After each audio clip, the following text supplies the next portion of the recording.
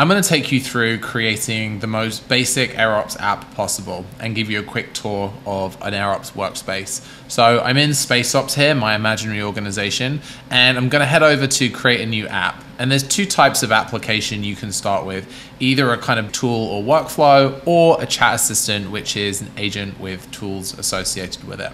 So in this instance, I'm going to create a basic tool or workflow, and this is going to take me through to my AirOps Studio canvas, which allows me to construct the sequence of steps that I want to go into my workflow. So super basic, I'm going to start by adding a couple of fields uh, that I want to collect for every single request that's sent through this workflow. So I'm going to create a story writer here as an example, and I'm going to set up story theme, save that, and then I'm going to create story setting. Um, so where does my story take place? And so super basic, but I'm going to collect these up front. I think they're both set to be not required, but you can obviously change that. And then the bulk of my workflow sits in the middle. And so any workflow is made up of a series of steps. And so these steps could be calls to a large language model like OpenAI's uh, GPT-4 or Anthropic's Claude. Um, I can also run code from Python and JavaScript. I can retrieve from a vector DB that we have built into the product, um, or I can call an API. But in this instance, I'm just going to make a simple large language model call.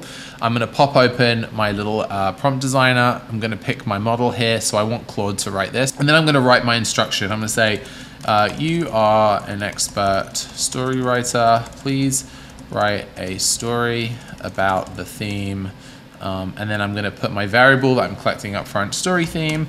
Um, and please set the story in the location uh, story setting.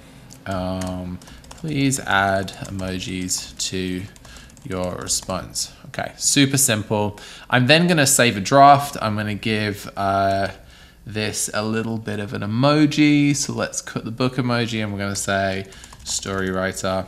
Um, and that's going to save my application. And now when I want to run a test, I can pick a story theme. So I'm going to write a story about chickens today, and I want the story setting to be on the moon. So let's run that. Um, and so we're getting our story coming out from the model here, full of emojis.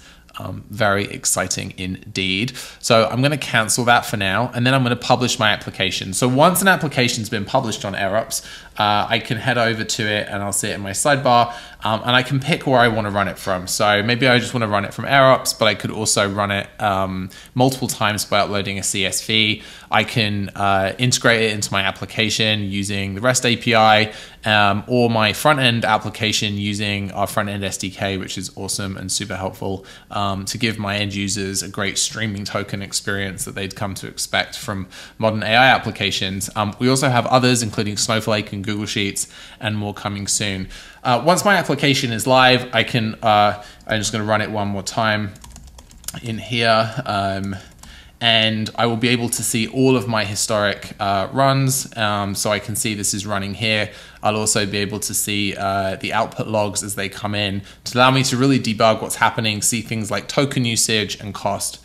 A couple of other things while I have you, you've made it this far. Um, so we also have a built-in vector database product called Memory Stores. And so this allows you to bring uh, your documents or data into your AirOps applications and um, th this is as simple as coming in, giving your memory store a name, and then you can connect either your Google Drive folder to add documents from there, or you can upload PDFs, CSVs, or text files.